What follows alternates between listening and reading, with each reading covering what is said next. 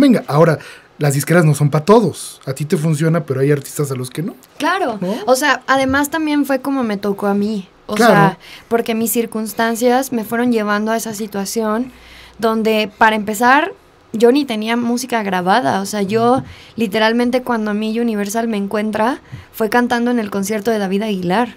En el tejedor. En el te- no, en el, en el Cantoral. Ah, buenísimo. Ok. Fuera, era el show del disco de David Aguilar. David me invita a cantar una canción. Canto La Ventana Carolina. Y, la, y así la- el público así de... Y, y así de que ya después en la disquera me contaron de que así todos voltearon y dijeron, ¿quién es ella? Y yo no tenía canciones grabadas. Tenía un video en YouTube tocando el piano y cantando. Tenía como 1500 seguidores en Instagram. No tenía perfiles, no tenía nada, así, absolutamente nada.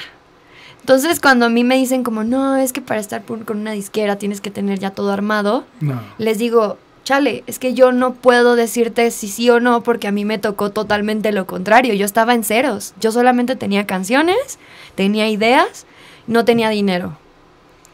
Y ahí siento que hicimos un gran, un gran negocio, porque es como, claro, tú, eres, tú, me, tú me vas a dar el- la materia prima para yo poder hacer estas ideas que a ti te gustan y que, y que estás apostando por ellas, porque Claro. al final de cuentas es una transacción, es un cambio, es, es, es un yo te doy, tú me das.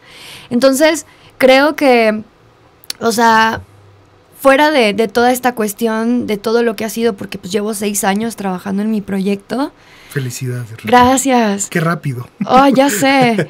Sí, me siento feliz porque sé que si aún así René no funciona, o sea, si no llega a ser el top, porque no tienes idea de cómo la gente me atiborra con comentarios, con eh, preguntas en, en las, en las entrevistas o de, ah, bueno, pero como que para cuándo, ¿sabes? Así de, oye, ¿y, y cuándo vas a estar como que este, al lado de estos artistas? O de que, ay, este, esta artista lleva un año haciendo su música y le está yendo mejor que tú o whatever.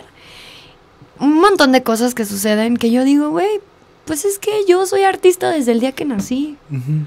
Yo mi, mi, mi corazón artístico lo tengo desde que nací y yo no estaba pensando en como, ah, claro, voy a ser la próxima Madonna, ¿sabes? Yo soy la primera René.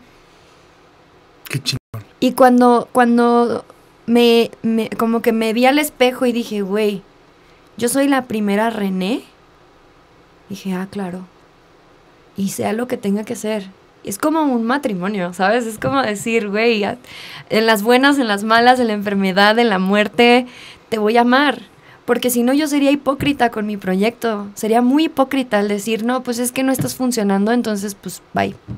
O sea, ¿me entiendes? Como que, no sé, a lo mejor estoy siendo demasiado naive No, o estoy no siendo creo. bastante inocente